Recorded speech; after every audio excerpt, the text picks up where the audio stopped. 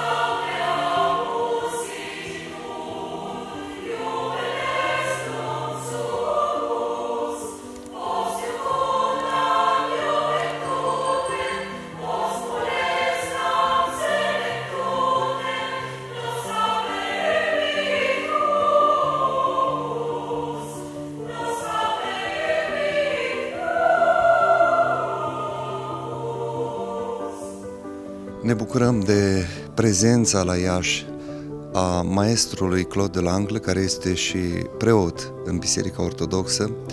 Ne bucurăm că a primit această distinție înaltă a Universității de Arte din Iași, de doctor honoris causa și titlul de cetățean de onoare ale Iașului.